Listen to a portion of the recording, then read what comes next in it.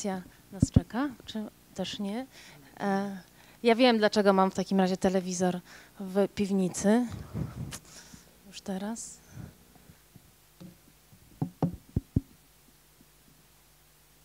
Dobry wieczór. Postaram się dzisiaj opowiedzieć kilka słów na temat Smart TV oraz. y,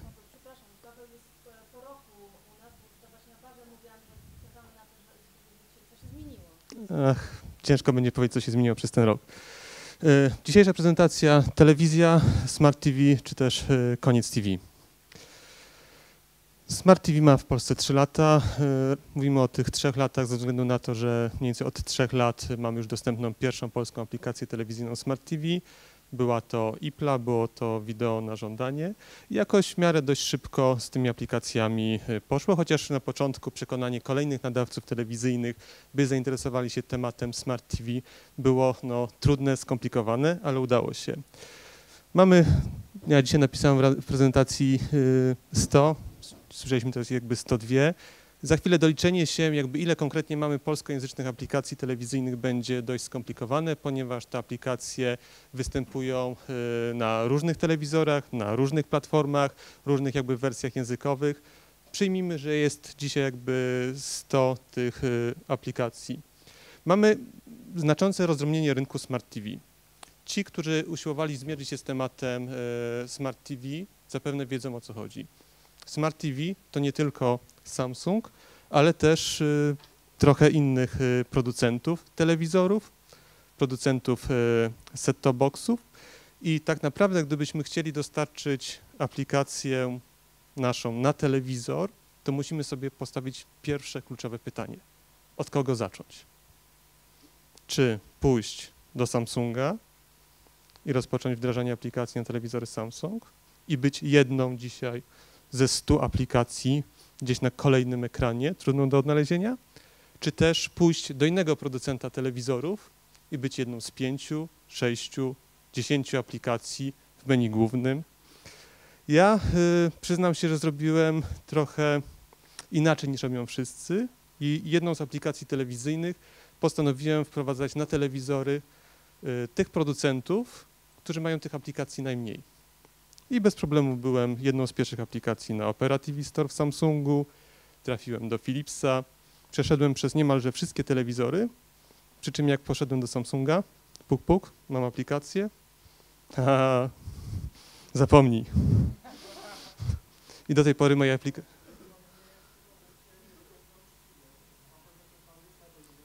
Ja mówię o aplikacji Smart TV. Mam wiele listów i za każdym razem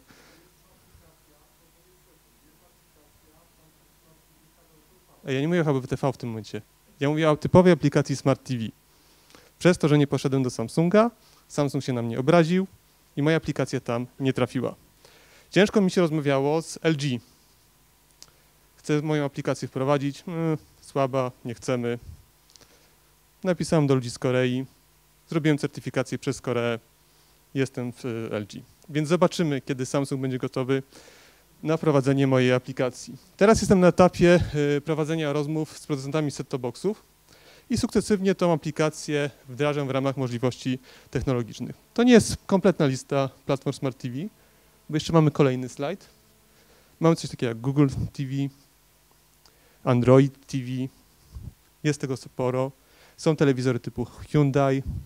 Można dzisiaj też wprowadzać aplikacje na telewizory chińskie, na przykład Hisense, jeszcze nieznany w Europie ale za kilka lat będzie dość y, popularną marką. Przypa- y, niezależnie od tego, od kogo zaczniemy, procedura jest taka sama. Nawiązujemy kontakt, podpisujemy umowę, negocjujemy warunki wejścia, otrzymujemy SDK i z tego SDK, y, przepraszam, y, SDK jakby wynika, co możemy zrobić. Jeżeli pójdziemy do Samsunga, to też dowiemy się, że co rok jest inna seria, jest inne SDK i są jakby inne wymagania. I wtedy też w przypadku samego Samsunga musimy podjąć trudną decyzję, czy zaczynamy przygotować aplikację na platformę EF, czy też cofamy się wstecz i wprowadzamy aplikację na platformę y, C. Przepraszam.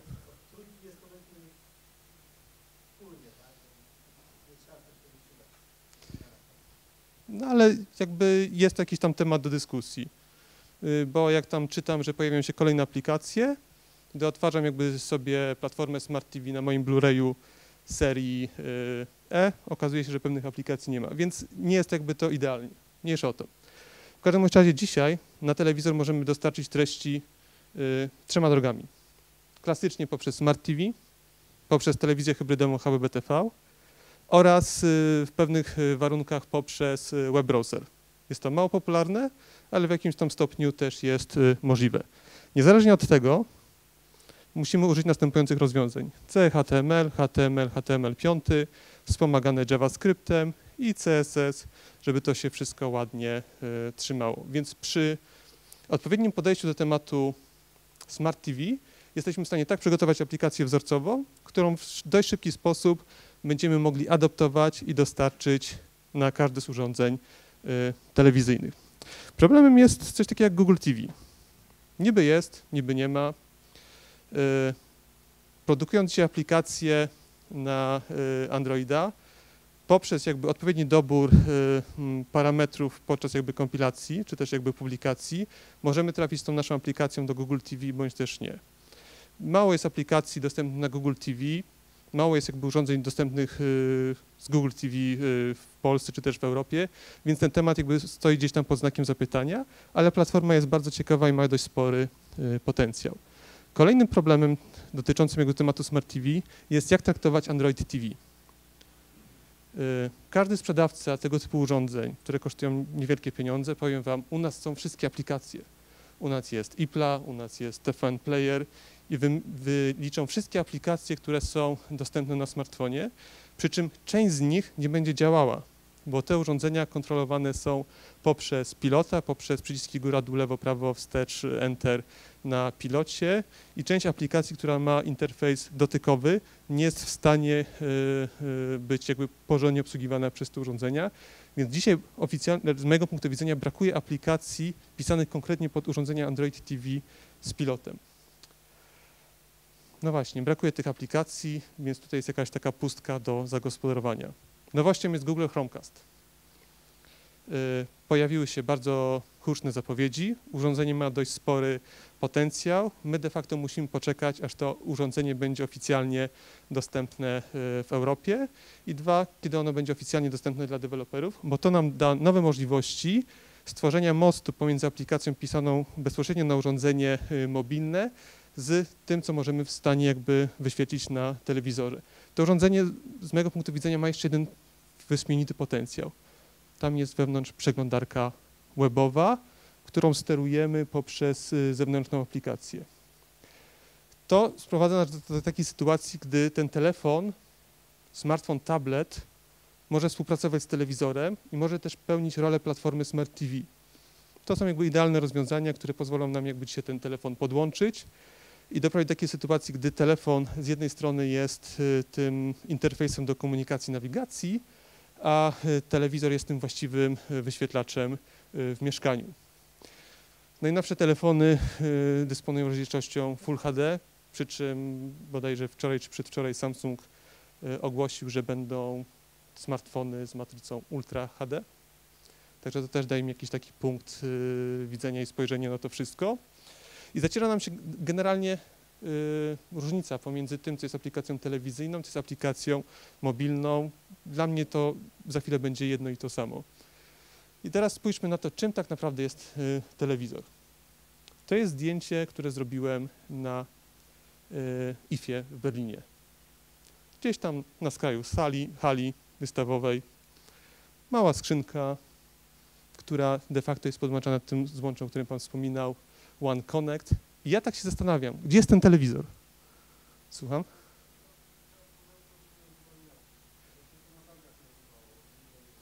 To jest jakby zdjęcie, to- jest jakby zdjęcie jakby z tych targów. Ja sobie zadaję pytanie, gdzie jest telewizor? Czy on jest tu, w tej dużej skrzynce? Czy tu? Dzisiaj nie wiem. Dla mnie to wygląda prawie jak set-top box z jednym jakby wyjściem y, wideo. Y, Podobne rozwiązanie też było y, dostępne u innego producenta telewizorów. Też była tego typu skrzynka, też był y, ekran i też możliwość jakby ingerencji wszystkich możliwych złącz, funkcjonalności względem ekranu telewizyjnego. Kolejne pytanie. Co powinniśmy zobaczyć po włączeniu telewizora? Jesteśmy przyzwyczajeni do tego, że przychodzimy do domu, włączamy telewizor, jest jedynka bądź też ostatni kanał, który oglądaliśmy. Ale producenci telewizorów poszli krok dalej. Jest coś takiego jak home screen. Jeden z producentów telewizorów wymyślił sobie tego typu rozwiązanie i żeby było jeszcze ciekawiej, ten home screen y, jest konfigurowalny i jest domyślnie włączony we wszystkich nowych telewizorach. Jeżeli komuś to nie pasuje, można to y, wyłączyć i od razu jest jakby dostęp do tych wszystkich aplikacji. Z mojego punktu widzenia jest to o tyle kluczowe, że y, pokazuje nam, że telewizor nie tylko i wyłącznie będzie nam sugerował oglądanie kanałów telewizyjnych, kanałów jakby linearnych, ale też sugeruje nam pewne aplikacje. Ja mam dość często taki problem, że jak wieczorem nie ma co oglądać, to ja się załamuję. Przelatuję te programy w jedną i w drugą stronę, w końcu włączam telewizor i idę spać, a, a, na drugi dzień się orientuję, przecież mam Smart TV, mogę sobie coś włączyć y, w Smart TV. Dość często jakby o tym zapominam. Brakuje mi jakby podpowiedzi, że też mogę znaleźć fajny content y, w Smart TV. Ten home screen może być personalizowany, tematyczny. To jest jakby dość sporo możliwości i bardzo fajny potencjał y, reklamowy dla branży. Jaka będzie przyszłość Smart TV? Ewidentnie mamy skok ku kolejnym rozdzielczościom. Pierwsze aplikacje Smart TV są, były projektowane w rozdzielczości 960 y, na 540, potem stopniowo 1280 na 720. Y, w najbliższym jakby czasie będzie możliwe projektowanie y, aplikacji Full HD, też 4K i prawdopodobnie w kolejnych latach będzie to 8K. Smart TV, 4K w Smart TV daje dość spory potencjał, ponieważ dzisiaj możemy dostarczyć poprzez e, streaming i poprzez internet filmy zakodowane odpowiednim kodekiem bezpośrednio do telewizorów. Także ten content wideo na żądanie już dzisiaj jest jakby dostępny, przy czym ta aplikacja jest to aplikacja domyślna e, wdrożona przez jednego z producentów telewizorów, drugi z producentów telewizorów ma e, taką aplikację, ale to nie są wszystkie. Ja dzisiaj nie wiem, na ile funkcjonalność 4K została udostępniona deweloperom. Ja nie mam takiego kontentu, więc szczegółowo o to producentów telewizorów nie pytałem. Przed nami nowe kodeki. HEVC, też nie zapominajmy o kodeku VP9, e, dość mocno jakby forsowanym przez Google, ponieważ ten kodek może być jakby przyszłościowy w przypadku, gdyby Google zainteresował, raczej zastosowało go przy serwisie YouTube. Kluczowe jest też y, dla przyszłości jakby Smart TV pełne wsparcie dla MPEG Dash. To pozwala nam na dostarczenie usług wideo niezależnie od bitrate'u, czy też jakby niezależnie od rozdzielczości. Mało tego, odpowiednio zrobiony MPEG Dash pozwala z jednego adresu URL dostarczyć wideo zarówno na smartfon, yy, konsolę, telewizor, niezależnie od, od rozdzielczości i, i bitrate'u. To jest według mnie przyszłościowa yy, technologia. Pamiętajmy też o tym, że y, w przypadku Smart TV prowadzone są prace nad budowaniem większej współpracy z, ze sprzętem jakby y, AGD. Są tworzone prace nad tym, by telewizor firmy A mógł współpracować z pralką firmy B. Jest to robione przez jedną z organizacji, przy czym producenci telewizorów bardziej wolą wykorzystać jakby swoje y, rozwiązania. Tutaj mam bardzo fajny przykład. Panasonic potrzebował troszeczkę jakby sprzętu y, AGD, więc dokupił sobie jedną markę. Kluczowe jest też y, odpowiednie projektowanie serwisów. Ja się tak zastanawiam, czy tego typu rozwiązanie pozwoli nam przy wsparciu dla HTML5 oraz jakby MPEG Dash doprowadzenie takiej sytuacji, gdy jeden zaprojektowany serwis będzie dostępny na te wszystkie ekrany. Ja jestem przekonany, y, że tak będzie, bo to jest bardzo fajny kierunek pokazujący y, dalszą ekspansję i rozwój aplikacji telewizyjnych. To wszystko pozwala bardzo fajnie połączyć internet i telewizję w celu wykreowania nowych, zaawansowanych usług telewizyjnych. I tak jeszcze pod koniec chciałbym, żebyśmy się zastanowili, co będzie za 6 lat i 55 dni powitamy 2020 rok. To będzie ten rok, w którym podczas CES-u zapewne zobaczymy telewizory 8K. Chociaż dzisiaj moja żona kłóciła się ze mną o to, że może to nastąpić w okolicach 2018 roku, że trochę przeginam. Ja wierzę, że to będzie rok jakby 2020. Nowa rozdzielczość, pełne wsparcie dla IPTV. Ja już nie widzę przeszkód, by, y, y, by telewizor nie mógł zachowywać się jakby jak set-top box IPTV. Dzięki temu operatorzy usług IPTV będą mogli dostarczyć swoje usługi IPTV bezpośrednio jakby na telewizor. O tym jestem jakby dość mocno przekonany. Zwiększy się moc obliczeniowa i z mojego punktu widzenia wydaje mi się, że zatrze się właśnie ta różnica pomiędzy tymi urządzeniami. Można było się zastanowić nad systemem operacyjnym, ale też można się zastanowić, czy on jest w ogóle potrzebny.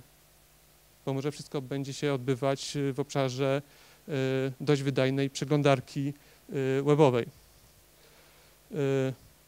Co jest jeszcze kluczowe? Jestem przekonany, że do tego czasu wszyscy producenci telewizorów pójdą w kierunku takim, by te aplikacje Smart TV były dostępne z serwerów, z chmury, bez konieczności ich instalowania y, w telewizorach.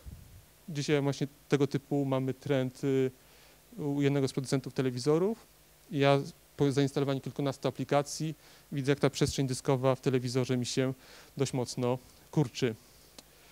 I tutaj kolejne pytanie. Czy te aplikacje telewizyjne zastąpią linearne kanały telewizyjne?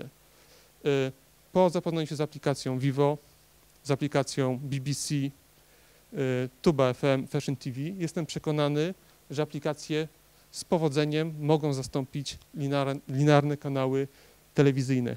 Mało tego, jestem przekonany, że pójdziemy krok dalej, że aplikacja telewizyjna zastąpi 30-sekundowy spot reklamowy. Bo jeżeli mam pełen potencjał technologiczny, to dlaczego mam się ograniczać do zaprezentowania samochodu przez te 30 sekund, jak jeździ? Mogę od razu doprowadzić do takiej sytuacji, że ściągnę użytkownika do usługi wideo na żądanie, na przykład firmy Toyota i sobie dokładnie zobaczę te materiały wideo, które promują dany samochód telewizyjny. Mało tego, będę musiał umówić na y, jazdę próbną, skorzystać jakby z rabatów na ten samochód. Pełne wsparcie y, dla HTML5 i MPEG Dash w to bardzo mocno wierzę. Mało tego, mając jakby takie zaplecze, warto się zastanowić, czy nie dojdziemy do takiej sytuacji, gdy odpowiednio przygotowany serwis www pozwoli nam na dostarczenie usługi wideo na żądanie, niezależnie od urządzenia, niezależnie od jego y, wydajności, niezależnie od rozdzielczości. Jestem przekonany, że tak się stanie. Y, Też wierzę w to, że będziemy mieli dostęp do kamer wideo z poziomu y, web browsera, JavaScriptu i to pozwoli nam na zbudowanie zupełnie nowej interakcji z widzem. Będziemy mogli jakby z, z domu uczestniczyć w programie telewizyjnym, pomachać, wypowiedzieć się, powiedzieć, co nas interesuje, co też, co, czy, czy też nie. Także zupełnie nowy wymiar jakby interakcji.